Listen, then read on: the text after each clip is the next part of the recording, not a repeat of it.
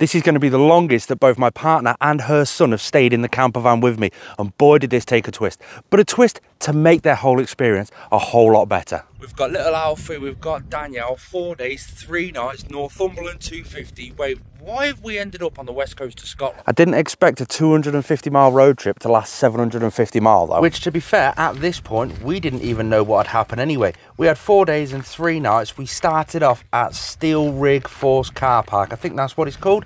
Northumberland 250. If you know this park up, you know why we've come to this park up. The good old Sycamore Gap or what used to be the Sycamore Gap. You see, in recent years, the Sycamore Gap the, is an actual sycamore tree that was recently cut down by some random person. A lot of stuff has happened there. It runs along Hadrian's Wall. Then randomly in the distance, I kind of noticed something that made me think. We're walking along and I see over there, see um, those things just there. The big giant bulls and cows and stuff. And then I was sat there thinking, no, do you know what? You know, my, my mind's randomly strange. I'm glad no one's wearing red.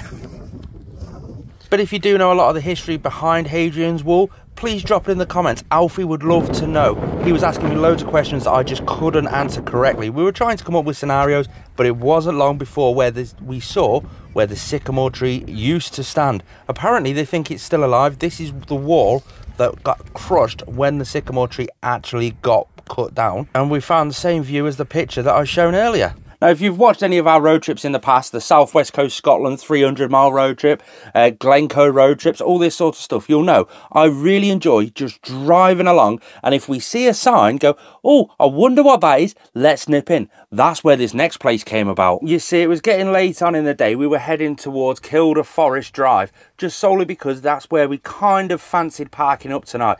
We stumbled across this place. It was a Lake Kielder or Kielder Lake sort of resort. You could go there. There was a little ice cream factory. We saw these cute little birds. Check them out.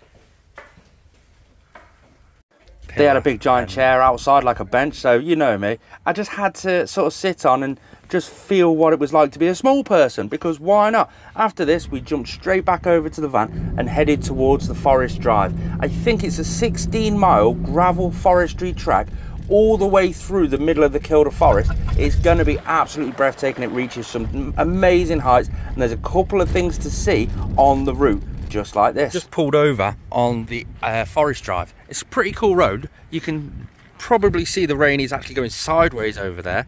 You probably can't see it actually. We just pulled over at the Blakehope Nick. Check this out. Yeah, I'm stood behind the van because the wind's going that way and you can actually hear me now. But if we run up there, let's show you exactly what it's like. That's where we are.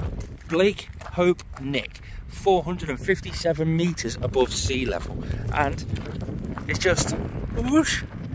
Look at that. That's quite cool actually, isn't it? I don't know anything about it. Danielle's reading the, the form paperwork stuff that's all about it, but it's a lovely little view out the other side, isn't it? A couple of little seats going around. What's it say?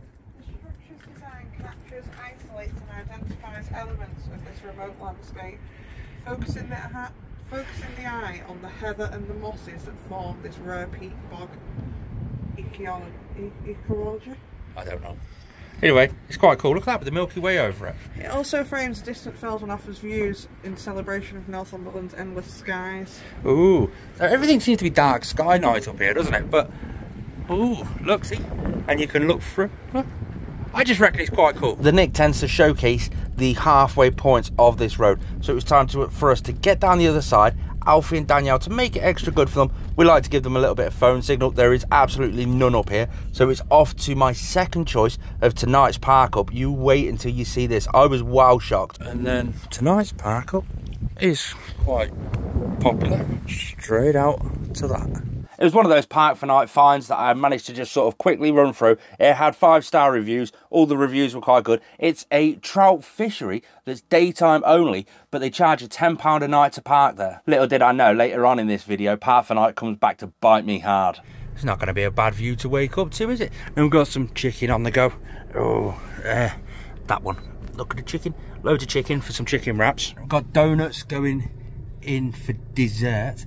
I've only got two, so that's mine and Danielle's. Hopefully, we can go out and dig some worms or something. Maybe not.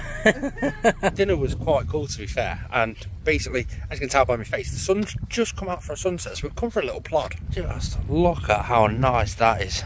How cool is that? This is sort of like, it looks like sand, but it could be less. So um, it could just be like slush. I don't know. But either way, I'm going for a little mooch. I bet this is full of animals when it gets dark. There's the van. Can you guess which one it is? It's, uh, it's that one, so you don't need to guess. So although it may not look like we've done a great deal today, still done a lot of mileage, but it's all part of the plan. You see, tomorrow is going to be the day where it's glorious sunshine, it's going to be the hottest day. So we've planned for that to be the beach day. Part of the North Coast, the North Coast, part of the Northumberland 250 is along a coast area. Loads of beaches, loads of fossil beaches, loads of bits and bobs.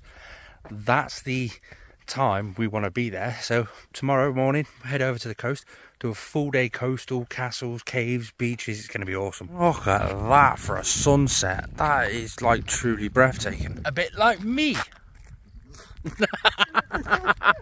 I think this place was called Fontburn Reservoir. It's on Park for Night. It's up in Northumberland. You can have a look for yourself or Google it yourself. It was just a nice chilled out evening.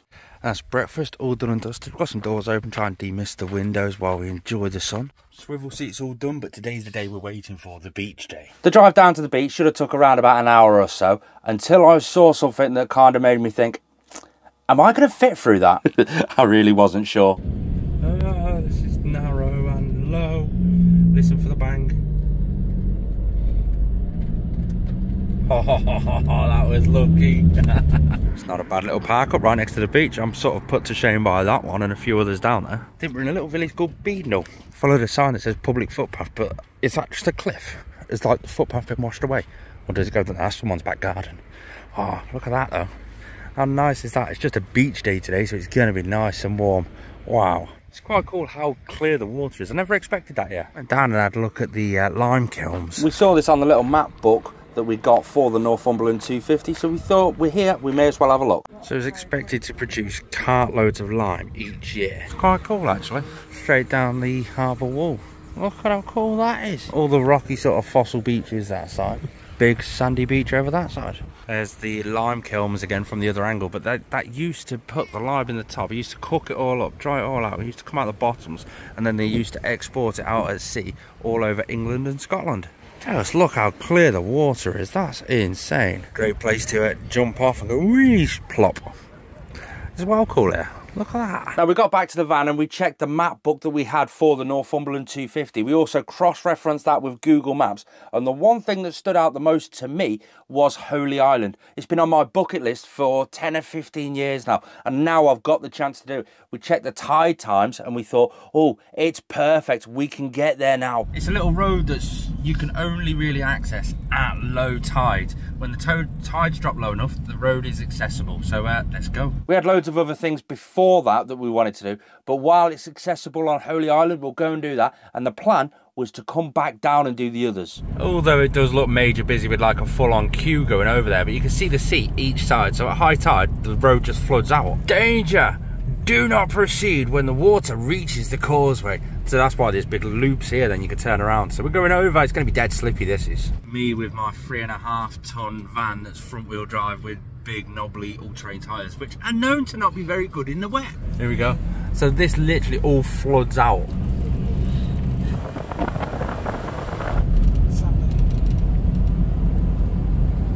Parked up in the car park and decided, you know, I'll have a bit of munch before we actually go off exploring. it's so much fun just sitting here people watching. Am I the only one that does that?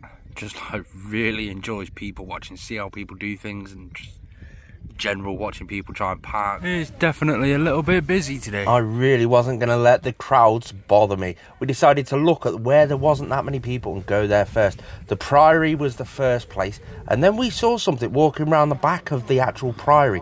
It's kind of cool. Well, what's this? It's like, is it a thermometer? Oh, it's a storm checker. A storm barometer. What's this? I don't understand how to read it, but it's there. And what's this one down here? Oh, that's the temperature.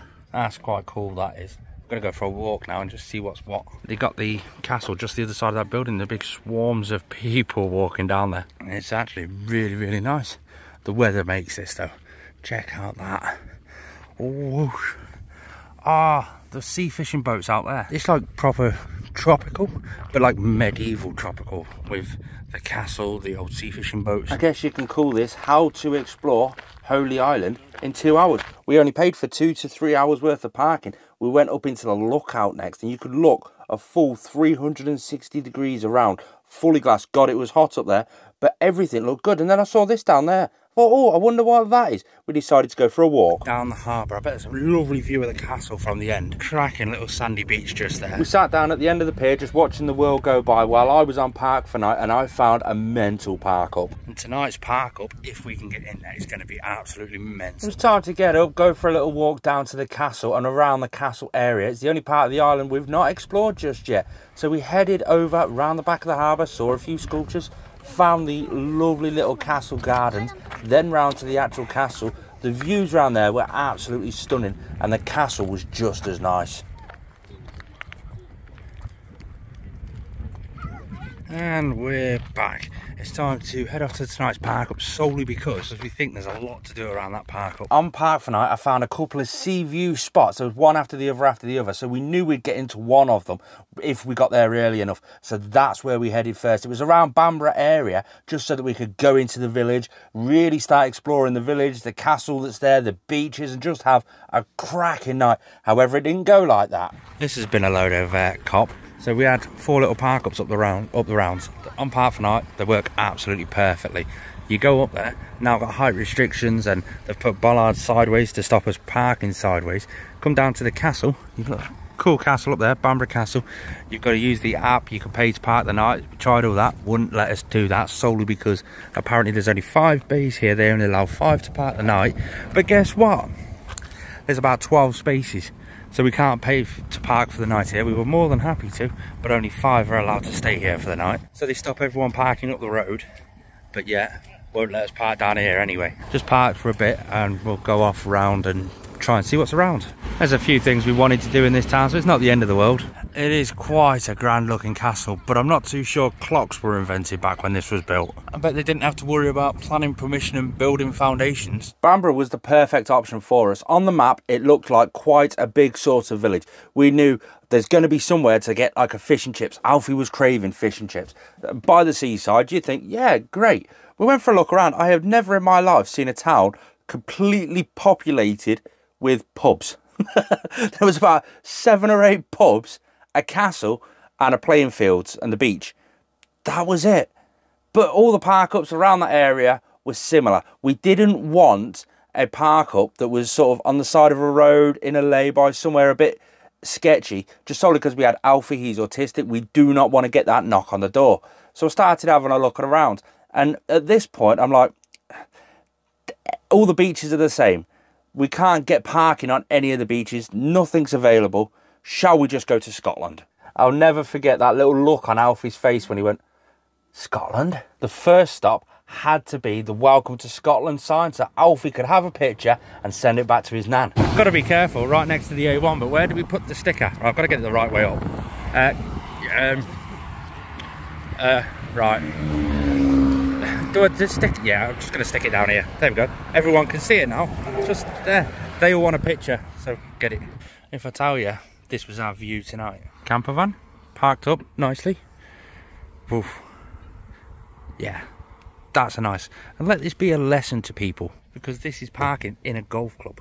They turn around and say, yeah, feel free to park here. Just come in and buy yourself a meal. So in turn, it's a free park up that we're actually going to spend probably 50 quid after we've all eaten together and had a drink and stuff like that.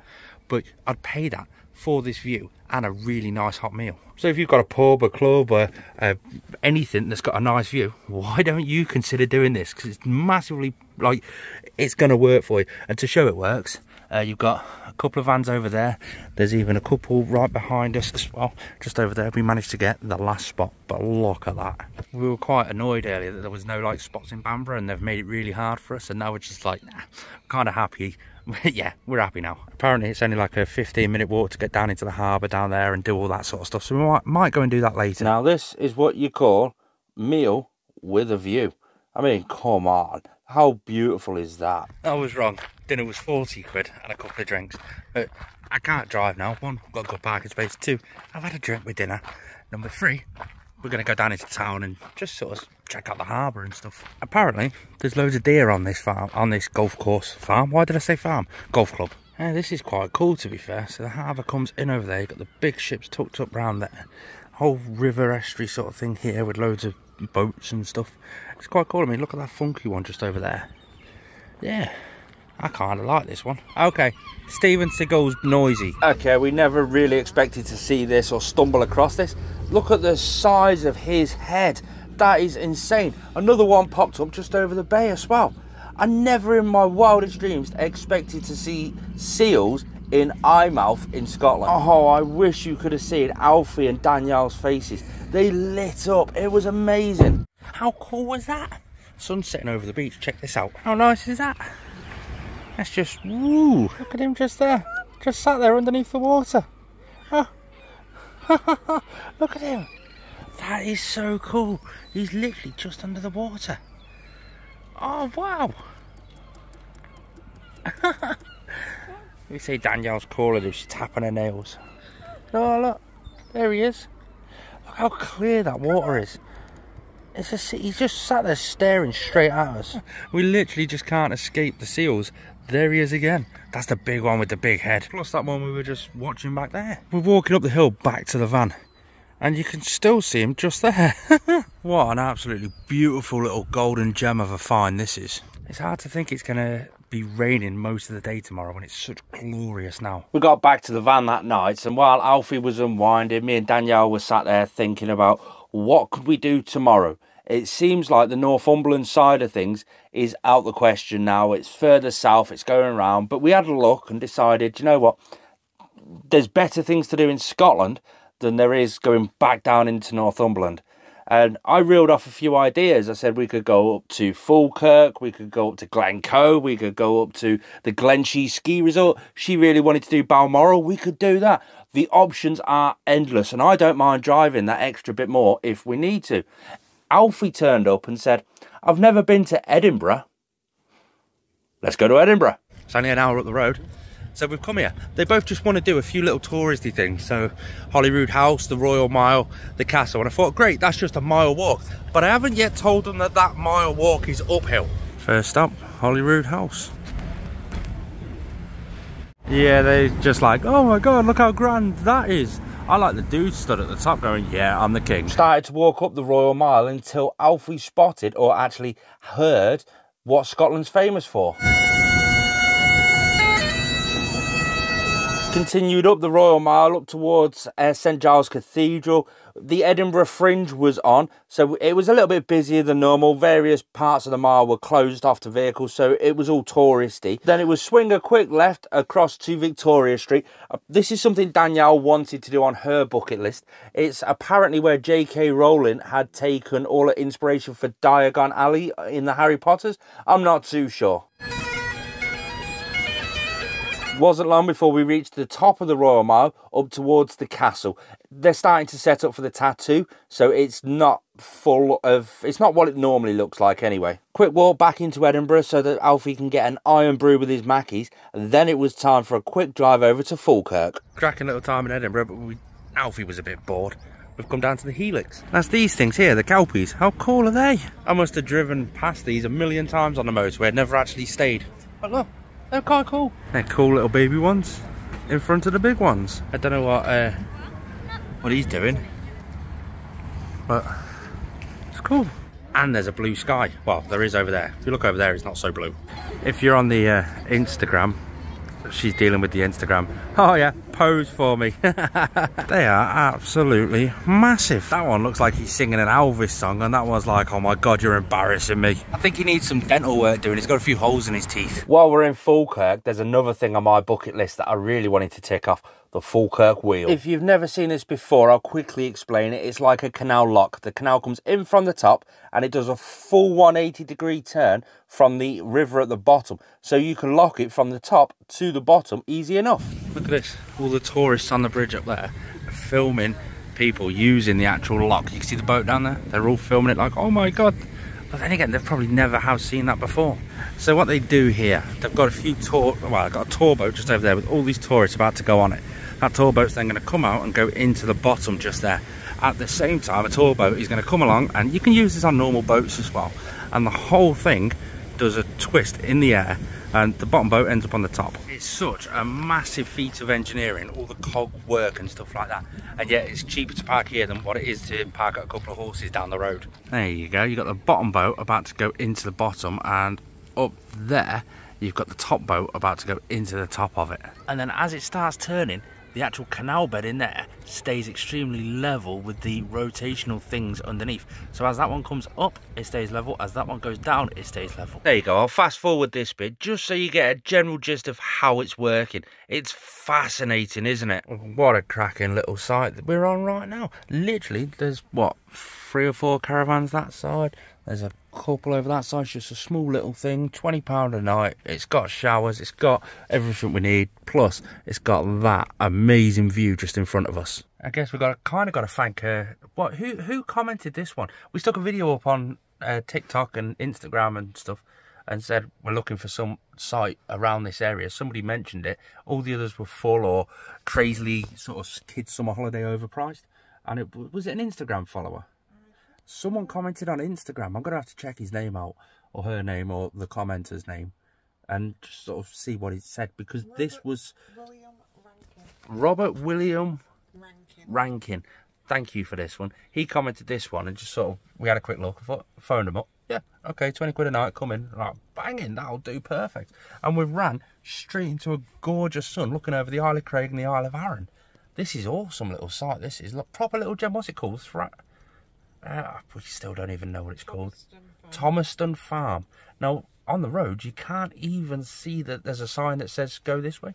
It's a Caravan and Camping Club certified one, but it's not a Caravan and Camping Club campsite. It's just really, really cool. Nice and quiet and... Why is Alfie laughing at me filming myself? and that is one good thing with the induction hob. You can see we've got a bit of wind coming in, but we haven't got a flame that it's flapping around. It's just straight on the pat, straight on the heat, works straight away. We've got the air fryer going and the induction hob tonight. What an absolute beauty of a view. Just check it out. Ailsa Craig over there, Arran all in the distance over there. It's just absolutely breathtaking. Mm, got a bit of chicken, some pasta with some cheese on. yum, yum, yum, yum, yum. Just look at that. Does anything get better than that? And that's the reason we decided to put a bench seat in the camper van. Archie's hiding. But check out this. Look at that for a sunset. Setting over the Isle of Arran with a beautiful sunset. Tomorrow's going to be an epic day. Good morning from the two famous grouse after leaving the campsite this morning after breakfast and everything first stop was 15 minutes north driving. So back on the way we came yesterday to the coo shed. It's basically a milkshake farm slash uh, cake vending machine. But last time we were here i fell in love with the carrot cake. Nothing's compared since then. We need to get more. It's a great way to celebrate my 100th day living on the road without a job. Where is it there it is. There it is. There it is. There and there, oh, and there. And they've got four rows of carrot cake. I'm having two of them. Here it comes, here it comes, here it comes. Oh, there, which one? That one. Oh, look, here it comes. That was the biggest one, so I had to have that one. Here we go. Whoosh. Yeah. Look, would I be fat if I got two? Yeah. Yeah? Okay, I'll have two. Here comes the next one. Here comes the next one. Yeah. now it's the milkshake.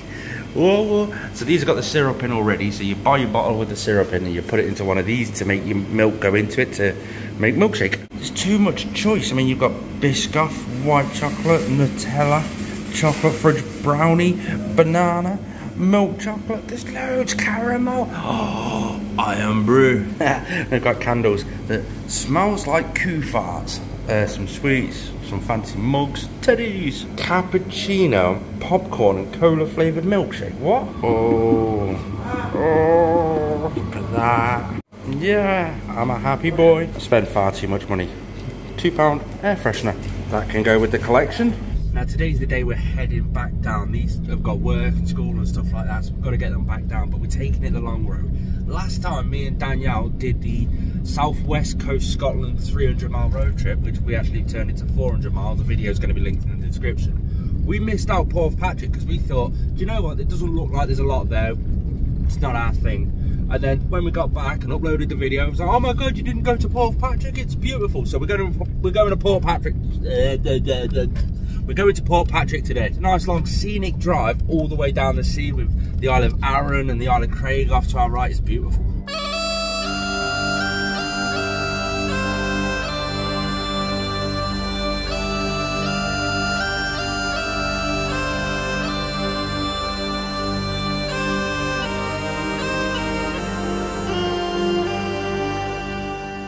let's see what Portpatrick is all about. First of all, there's a load of steps up there. Got the sea just over there. It's a big rocky beach. It looks like volcanic rock, to be fair. Uh, you've got the Isle of Man over in the distance. I think that's the Isle of Man anyway. You've got my advertising ride just there.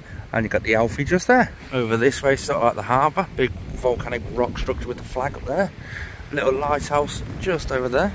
That's actually really nice. It's like little and quaint and stuff. Look at how cool that is. Yeah, okay, the comments were right. It is a cute little town. Ooh, now this is very photogenic, isn't it? Oh, how nice is that? I have no idea what that was for, but I think it used to kind of link up to the drain that's coming out. I don't know. Either way, it's quite cool. Let's go check out the lifeboat. You can definitely tell by looking at the sea, it's so easy out there to get stuck on or get into trouble out there. It's just so choppy and it's actually calm. Let's go climb up to the flag. I bet there is an easier way of doing it, but let's have a little go. Um, yes. Whoosh. God, I am the god of climbing beach rocks. Um, you watch me slip now. whoosh, whoosh. Oh yeah, there's an actual footpath. That was typical, isn't it? Oh, how do we get up there? I'm gonna scramble it. All right. Whoosh, whoosh. Yes.